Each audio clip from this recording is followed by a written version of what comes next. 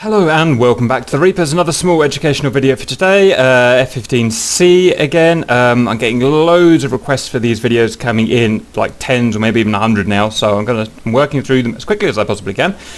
This is the F-15C uh, combat climb, it's something that I use, so what is it? It's, uh, it's a way of getting up to altitude optimally, not in terms of uh, gas mileage, uh, not in terms even really of time, to climb, um, but it is the optimal in terms of combat, which means that we climb as fast as we can, as efficiently as we can, while maintaining maximum speed kinetic energy. So once we've reached our altitude, we're going to have the maximum speed, and um, and that's uh, so that's how we're going to climb. Uh, so we're assuming we're down relatively low. Maybe we've just taken off. Maybe we're loitering low. Whatever reason, uh, we're fully loaded. Two bags, full uh, full armament. So it's realistic. Uh, so let's uh, go and get it done. Let me set on pause.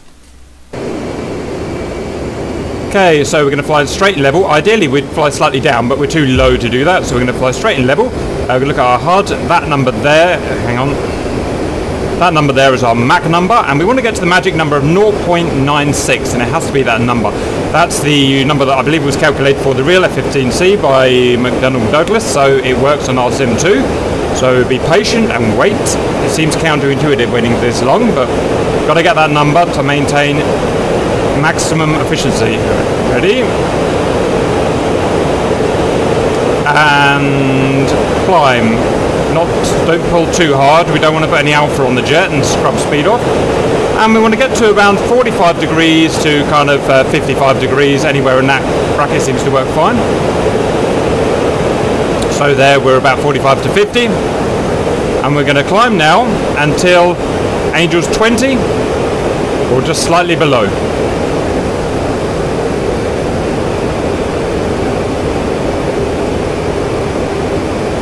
I usually uh, bottom out at about Mach 0.8, so you see Mach 0.8 reach there.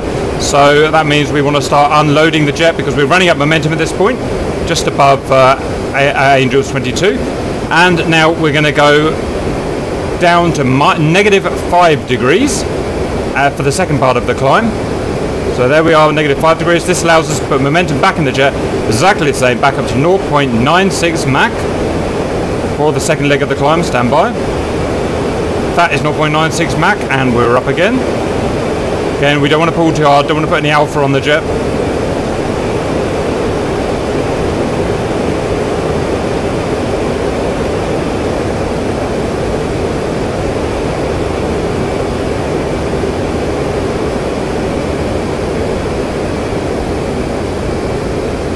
Back up 45 50 degrees. And we're getting to 0.8 Mach again because we're going to start to level out again. Went a little bit too high there. The max uh, combat ceiling for this jet is 37,000 so a bit out of practice. And we got a little bit too slow there. But that is essentially it uh, if you're in the F-15, you only ever want to climb to two altitudes. That's Angels 20, which is for direct into combat, or Angels 37, which is for transit into combat. Angels 37 is the optimum uh, traveling uh, fast cruise speed for the F-15 in terms of its aerodynamics and engine design. It's where you can get your maximum speed with or without payload. So um, and as we've said in uh, previous educational videos in our educational section, you want to actually fight at Angels 20 if you have the choice. So you're only ever going to climb to Angels 20 or Angels 37. Uh, I went a bit high here and I got a bit too slow, but that is basically how you do the combat climb. So if you go to Angels 20, you just do it in the one step. If you want uh, Angels 37 fast cruise, then you'll do it in the two steps like that. Just stick to the Mach 0.96, the negative 5 degrees, and the plus 45 to 55 degrees. Uh, simple as that. Really easy. Just remember to do it and you will beat your opponent. Okay, thanks for watching and we'll see you later.